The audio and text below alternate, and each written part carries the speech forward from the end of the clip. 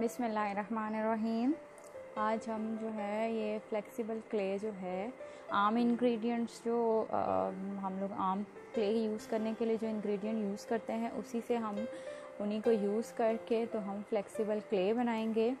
अच्छा इसकी काफ़ी ज़्यादा रिक्वेस्ट आई थी लेकिन मेरी तबीयत ठीक नहीं थी इस वजह से ट्यूटोरियल बनाने में थोड़ी सी देर हो गई मुझसे। आ, ये इस तरीके से बनानी है। अच्छा इसमें आपने एक चीज़ का बहुत ख्याल रखना है कि जो मयरमेंट्स मैं बताऊँगी उन मयरमेंट्स में थोड़ा सा भी आपने जो है वो ऊपर नीचे नहीं करना। नहीं तो आपकी क्ले जो है वो फ्लेक्सिबल नहीं बनेगी ठीक है? एक चीज़ का ध्यान रखना है। जितनी मयरमेंट्स मैं बता रही हूँ आपने उतनी ही मयरमेंट्स लेनी है। मयरमेंट्स का बहुत ज़्यादा ख्याल रखना है। अगर आप मयरमेंट्स का ख्याल नहीं रखेंगे तो आपकी जो क्ले है वो फ्लेक्सिबल नहीं बनेगी। अच्छा इसके लिए जो हमें चीज़ें चाहिए आ, वो मैं जो है इस बर्तन में बनाऊँगी। आप कोई भी नॉन स्टिकी वगैरह यूज़ कर सकते हैं। मैं इसी को क्ले बनाने के लिए यूज़ करती हूँ। अच्छा सबसे पहले हम ग्लू लेंगे। ग्लू कौन सी वाली लेंगे? वीडियो को एंड तक देखिएगा ताकि क्ले में जो है कोई भी प्रॉब्लम ना आए और आपकी क्ले जो है वो ख़राब ना हो जाए। आ, अगर आप वीडियो के बीच में कुछ भी मिस करेंगे तो आपकी क्ले जो है वो इस तरह से नहीं बनेगी फ्लेक्सिबल और फिर जो है वो आपका सारा इंग्रेडिएंट्स जो है वो ख़राब हो जाएगा ये फ्लेक्सिबल नहीं होगी। कोई भी ग्लू यूज़ कर सकते हैं। मैं ये वाली ग्लू इस क्ले के लिए यूज़ कर रही हूँ। जो फ़र्स्ट टाइम जब मैंने बनाई थी, मैंने दूसरी वुड ग्लू यूज़ की थी। लेकिन मैं यूज़ वुड ग्लू ही कर रही हूँ, ठीक है? कोई भी वुड ग्लू लें, कोई भी मतलब कोई ब्रांड नहीं, कुछ भी आप कोई भी क्ले यूज़ कर सकते हैं। ग्लू आप लेंगे वन कप ठीक है? वन कप आप ग्लू लेंगे, ठीक? इसको मैं इस पैन के अंदर मिक्स कर देती हूँ। ये देखें, बहुत थिक है ये ग्लू। आप जो है, वो क्या करेंगे? वन कप आप ग्लू लेंगे, कोई सी भी। कोई भी वुड ग्लू आप यूज़ करें। वुड ग्लू मैं इस वजह से कहती हूँ क्योंकि वुड ग्लू थोड़ी सी जो होती है, उस, वो अच्छी होती है।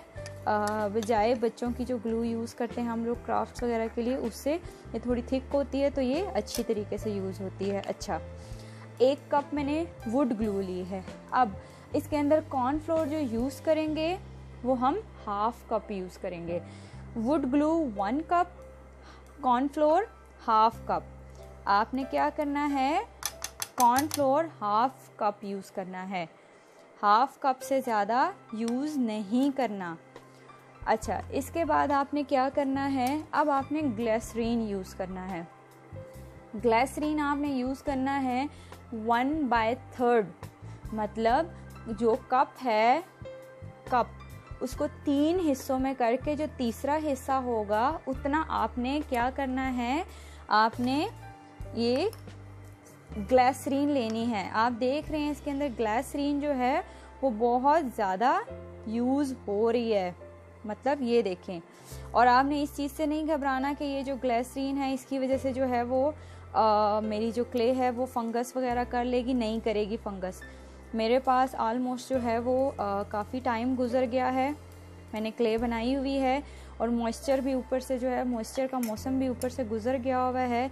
मगर मेरी जो क्ले है, वो उसने फंगस नहीं किया। अगर आप अच्छे तरीके से इसको प्रिजर्व रखेंगे तो आपकी क्ले फंगस नहीं करेगी।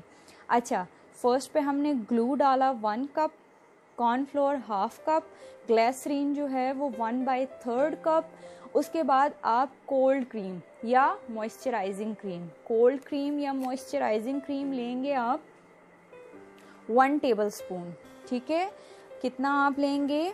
वन टेबल स्पून आप लेंगे आ, जो है वो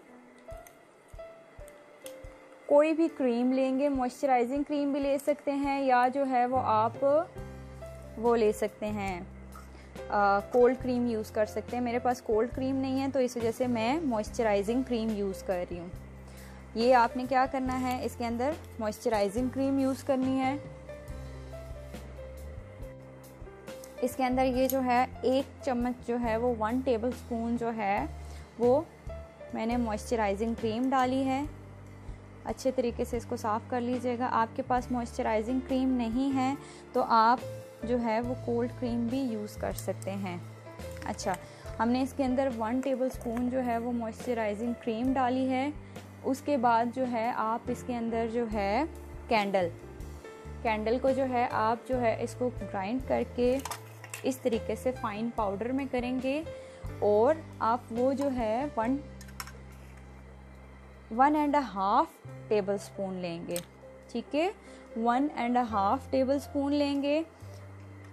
मतलब एक टेबल स्पून और फिर हाफ़ हम उतना लेंगे. इसके अंदर ये मैं इसको मैयर कर चुकी हुई हूँ. ये. इसके अंदर मैंने 1.5 जो है, वो टेबल स्पून जो है, इसके अंदर मैंने कैंडल वैक्स जो है, वो डाली है. ये इसमें से कोई भी चीज़ आपने स्किप नहीं करनी. कोई भी चीज़ जो है, वो स्किप नहीं करनी. अच्छा अब बेबी ऑयल लेना है आपने. बेबी ऑयल आप कोई सा भी यूज़ कर सकते हैं। मतलब आ, कोई भी बेबी ऑयल आप यूज़ कर सकते हैं। मैं यहाँ पे ले रही हूँ। आप इसमें से जो है वो कोई भी बेबी ऑयल यूज़ कर सकते हैं। हम वन टीस्पून वन टीस्पून जो है वो हम इसमें बेबी ऑयल डालेंगे। वन टीस्पून इसमें बेबी ऑयल गया। अच्छा उसके बाद जो है वो विनेगर मतलब सिरका, कोई भी सिरका आप जो है वो यूज़ कर सकते हैं वन टीस्पून वन टीस्पून जो है वो आप इसके अंदर थोड़ा सा ज़्यादा हो गया. ये वन टीस्पून इसके अंदर जो है वो हमने विनेगर ऐड किया है. अब इन सारी चीज़ों को अच्छे तरीके से आपने क्या करना है? मिक्स करना है। उसके बाद हम इसको कुक करेंगे लो फ्लेम पे। लो फ्लेम पे हम इसको कुक करेंगे और जो है, जब तक इसका ये मिल्कीनेस जो है, ये ख़त्म नहीं हो जाती, तब तक हमने इसको कुक करना है। हाँ जी, इसको मैंने अच्छे तरीके से मिक्स कर दिया हुआ है। ये देखें इतनी सी आँच पे इसको रखना है। बहुत तेज़ नहीं होनी चाहिए। अब इसको क्या करना है? हमने इसको बस लाते रहना है लम्स फ्री इसको रखना है और इसको कुक करना है। लो फ्लेम पे इसको कुक करना है। जब तक इसका ये जो मिल्कीनेस है, ये ख़त्म नहीं हो जाता, तब तक इसको कुक करना है। तेज़ आँच पे नहीं पकाना। इसको बिल्कुल जो है, हल्की आँच पे रखना है। लेकिन जो चीज़ें मैं बता रही हूँ, जिस तरीके से उनको उसी तरीके से फॉलो करेंगे तो आपकी क्ले जो है, वो फ्लेक्सिबल बनेगी और अच्छी बनेगी। नहीं तो आपकी क्ले जो है, वो ख़राब हो जाएगी। ये देखें ये हल्की हल्की जो है वो इसके अब ये एक दूसरे के साथ जो चिपकना शुरू हो गया और इसका मिल्कीनेस भी आहिस्ता आहिस्ता ख़त्म हो रहा है। इसको हल्की आँच पे ही इसी तरीके से कुक करना है और अब इसको अच्छे तरीके से मुसलसल हिलाते रहना है। इसको बीच में स्किप नहीं करना। अच्छा ये सारी जो है वो गैदर हो चुकी हुई है, ये देखिए मेरी। ये एक ही दफ़ा एक बॉल में आ गई है सारी के सारी क्ले अब मैं क्या करूँगी? मैं गैस को बंद कर दूँगी और इसको थोड़ी देर के लिए जो है वो मैं इसका मिल्कीनेस भी ख़त्म हो चुका हुआ है और ये देखें, ये फुल सारी एक साथ आ चुकी है। अब इसको थोड़ी देर ठंडा होने के लिए रखेंगे, उसके बाद नेक्स्ट प्रोसीजर करेंगे। अच्छा ये मेरी अच्छे तरीके से जो है अब, ठंडी हो चुकी हुई है, जो क्ले है मेरी। इसको मैंने अच्छे तरीके से जो है वो ठंडा होने के लिए रख दिया था। इसको आप जो है पानी के अंदर सोख कर दें तो ये वापस बर्तन साफ़ हो जाएगा। अब इस क्ले का क्या करना है? देखें बाकी क्ले की तरह हम इसको ज़्यादा नीड नहीं करेंगे। हम इसको बस थोड़ा सा जो है वो इस तरीके से ये थोड़ा सा जो है वो इसको बस एक शेप में करेंगे और हम इसको जो है बिल्कुल ठंडा होने पर हम इसको सील कर देंगे। किसी भी जो है वो शॉपर वगैरह के अंदर इसको पॉलीथीन बैग में करना है आपने। मेरे पास ऑलरेडी जो है वो कुक क्ले जो है, ये ऑलरेडी मेरे पास ये वाली अवेलेबल है। मैं इसी के साथ इसको मिक्स करूँगी। लेकिन इसको क्या करना है, आपने पहले शॉपर को अच्छे तरीके से वैजलीन के साथ जो है ग्रीस करना है। ये, इस तरीके से ग्रीस करके उसके बाद जो है, इसको आपने स्टोर करना है। इसको हम स्टोर कर देंगे और आपने जब इसको यूज़ करना होगा, उतनी सी क्ले लेके उसको अच्छे तरीके से आपने पहले स्मूथ करना है और फिर उसके फ्लावर बनाने हैं। इसको हम इस टाइम पर सारा इसको स्मूथ नहीं करेंगे, बल्कि इसको हम इसी तरीके से सेव कर लेंगे और जब हमने इसके फ्लावर्स बनाने होंगे, हम तब इसको थोड़ी सी लेके उसको अच्छे तरीके से जो है स्मूथ करेंगे। ये इस तरीके से स्मूथ करके फिर इसके अंदर कलर ऐड करके और फिर इसको यूज़ करेंगे। होप सो आपको ट्यूटोरियल अच्छा लगा होगा। देखें ये वाली जो क्ले की रेसिपी है ये आपको कोई भी जो है फ्री में नहीं देगा। ये आपको आ, कहीं से भी जो है ये वाली क्ले की रेसिपी अवेलेबल नहीं होगी। मैंने आप लोगों के साथ शेयर की है। अगर आपको ट्यूटोरियल अच्छा लगा हो तो जो है, मेरा चैनल ज़रूर सब्सक्राइब कीजिएगा और शेयर ज़रूर कीजिएगा। कमेंट बॉक्स में ज़रूर बताएँ कि आपकी क्ले किस तरीके से बनी है। आप लोगों ने ट्राई की है या नहीं?